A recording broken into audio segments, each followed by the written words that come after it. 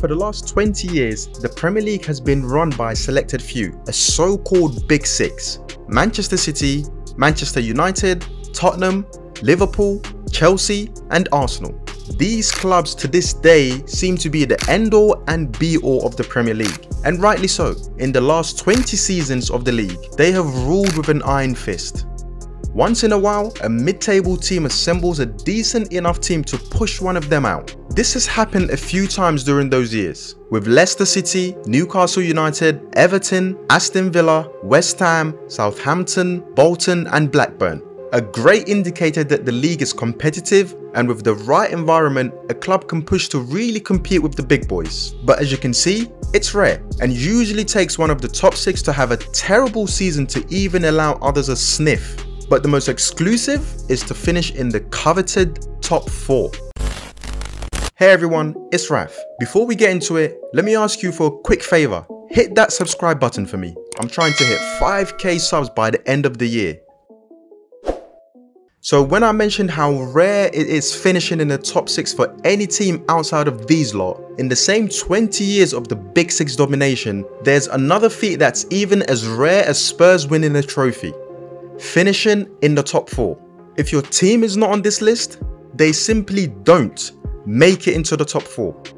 In 20 years, let me tell you how many teams have managed to crack that top 4. Everton, Leicester City. That's it. That's the list. In 20 seasons, only two teams at the start of the 2018-19 season, Leicester City had odds of 5,000 to 1, then won the title with the 6th lowest points of any champion in Premier League history. Not that their fans should care about that one bit. It's cruel how things can change in football. But something is happening. Since Leicester's heroics and David Moyes' brilliance, Newcastle United finished the 2022-23 season in 4th place, breaking the top 4 monopoly. But I hear all of you haters already saying, are they just another Leicester or Everton? No, there's something different this time. There's oil money and then there's a blueprint. With the dough, attracting the best players to Newcastle can easily be sustained to maintain their presence in the top 4 challenging the top 6 clubs in transfer fees, wages and even more importantly, a top class backroom staff. Departments like coaches, football directors and medical staffs are what keeps teams competing at the highest level season after season. And you see that in the new crop of teams regularly challenging the top teams when it comes to putting talent on the pitch.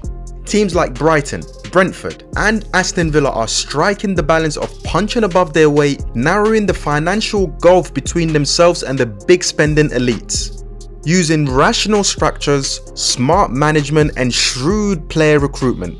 For a team like Brighton, if you come for their players, they will sell them for a handsome fee then they'll use a fraction of that money to replace the player with even better effect. Even if you poach their manager, their next gaffer will do an even better job. For the team that finished right behind them in 7th, Aston Villa went from fearing relegation to under the elite coach Unai Emery going back to Europe after 13 years. If Brighton and Aston Villa can compete with the big boys when it comes to club structure, management and player recruitment, the team that cracked the top 4 are going to be doing way more than that, but with a nitro boost on their back, aka Arab money. So if they're able to maintain this growth, don't be surprised if they emulate Man City in success. At least we know St James's Park will host unbelievable Champions League nights. Unlike... Never mind. Till next time. Peace!